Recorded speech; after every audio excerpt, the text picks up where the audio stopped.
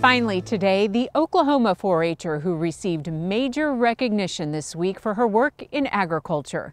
Sunup's Curtis Hare takes us to Pittsburg County.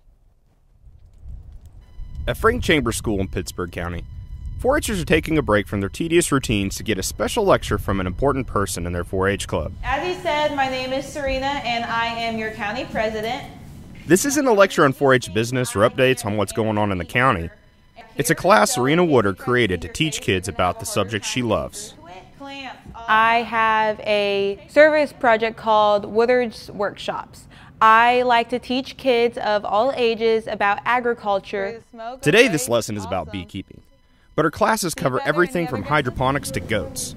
She started the project in the sixth grade, and it's grown a lot. Awesome, that was spot on. I have taught Woodard's Workshops in currently 38 counties to over 40,000 youth. I teach majority of it here in the Southeast District. I teach at community centers, libraries, and also 4-H clubs. After a short lesson, Serena's pupils do crafts on what they've learned. Then they enter these creatures into their county fair. My favorite thing about my workshops is definitely working with the kids. I love seeing the growth of them. I go from the first day when not a lot of kids know little to nothing about agriculture to my last workshop. Some of them it leads to potential career paths. Um, as a teacher, Serena is very quite like a leader because she's always fun to really be around. She's super kind. She's a very positive role model because whenever I grow up, whenever I get older, I want to be quite a bit like her. I plan on hopefully winning a award like hers and just really want to help kids better themselves. Like Emily said, Serena recently won an award for the outstanding work Woodard's Workshop does. It's not a small honor. On March 20th, Serena accepted the National 4 H Youth in Action Agriculture Pillar Award, the third Pittsburg County 4 H'er awarded at this level. Although surprised and elated about the award, the day she would accept it caught her off guard. Her life forever changed on the 20th of March of last year. March 20th of 2017 is actually when we lost our house to a fire. Uh, they don't train you for that, excuse me, the that phone call that's that's not in the, the training repertoire that they have for an extension agent. Pittsburg County 4-H educator Greg Owen was one of the first people Serena called. She was obviously very upset.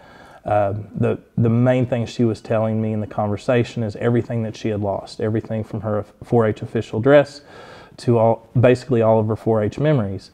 Everything in the fire was completely demolished. The only thing we found from my bedroom is a belt buckle I won in 2015 for being my county's outstanding teen volunteer. For Serena's mother, Kathy, it's still hard to comprehend. You don't realize what all you lost. We still look back now. Um, if we need something, I'll be like, oh yeah, that's on top the refrigerator. But it's not because even your refrigerator is gone.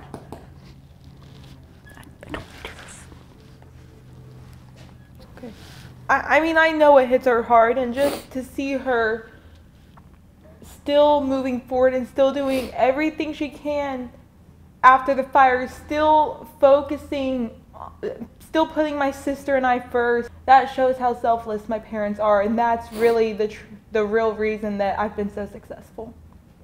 4-H is Serena's world. Whether it's her workshops or mentoring others, she gives everything she can to the program. After this tragedy, it was time for 4-H to give back. I've never been more proud to be an extension agent, a 4-H agent, not only of this county, but of this entire state, because literally the entire state came to bat for her. With feed for their animals and more supplies than the Woodards needed, the 4-H family helped them along, even upgrading the only thing left standing in the fire, that belt buckle. My county educators made a new belt buckle for me that is not exactly like the old one. And why it means so much to me is because it looks different than everybody else's. And on the outline, it's black. So it kind of reminds me that I've came out of the ashes. Serena and her family are pushing forward. They have plans to rebuild their home on top of the rubble of the old one, and Serena was elected to district office and plans to run for state officer. Always moving and always disciplined, like any good teacher. In Pittsburg County, I'm Curtis Hare.